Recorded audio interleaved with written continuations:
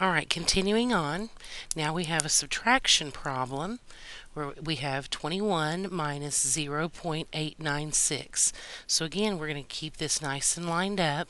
And 21 being a whole number, the decimal naturally follows right behind that ones position.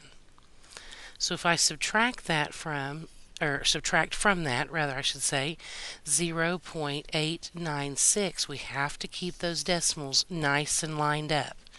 So now in order to see those places so we can do the subtraction, we could always fill in those missing places behind the decimal with zeros. That's perfectly reasonable. Now we cannot take 6 from nothing, so we're going to have to borrow. We're going to end up having to borrow from way over here. So whenever I take this 1 and I turn it into tenths, it would be 10 tenths. And now we can borrow from one from there and turn it into hundredths. And then we can borrow one from there and turn it into ten thousandths. And now we've got the exact same amount. So, now let's go ahead and do our subtraction here. We have 10 minus 6 would be 4. 9 minus 9 would be 0. 9 minus 8 would be 1, keeping our decimal nice and lined up. 0 minus 0 is 0, and 2 minus nothing is 2. So our answer here would be 20.104.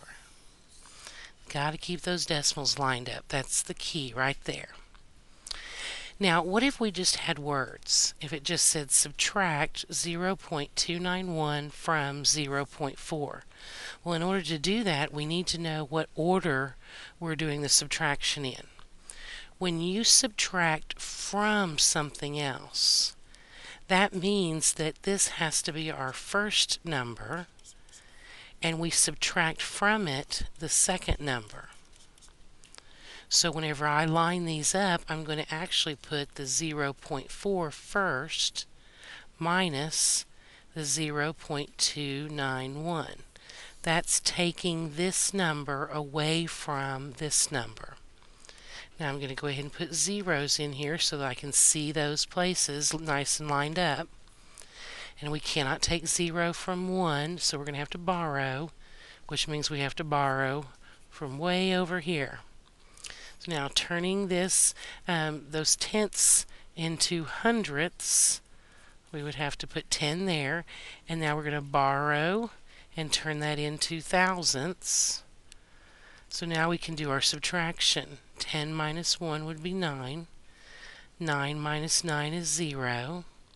3 minus 2 would be 1, keeping my decimal nice and lined up. 0 minus 0 is 0. So our answer here would now be 0.109.